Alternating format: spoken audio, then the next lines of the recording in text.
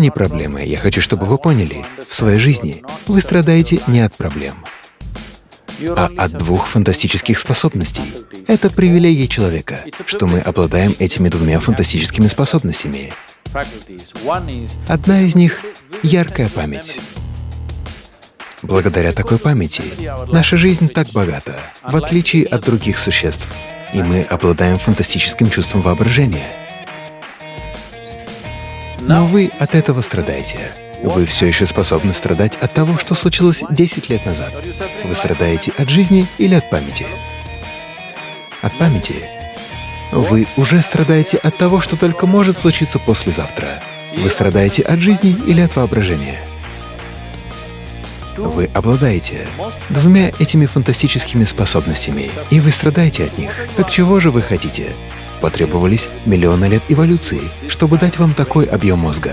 А теперь вы страдаете от этого. Если мы заберем половину вашего мозга, вы будете сидеть безо всяких тревог или страданий. Очень умиротворенно.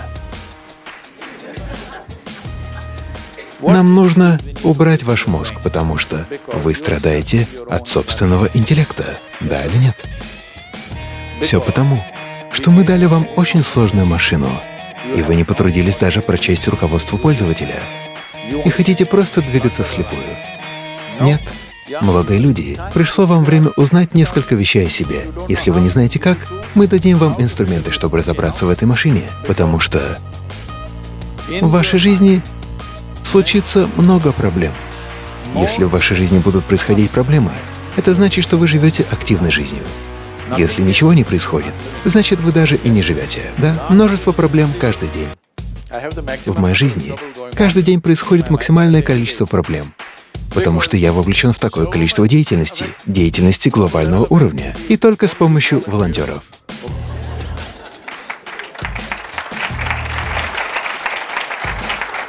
Так что в своей жизни вам нужно разобраться с одним только этим, чтобы вы сами не были проблемой. Какая бы проблема ни случилась, мы будем делать лучшее, на что способны. Но вот это не должно быть проблемой.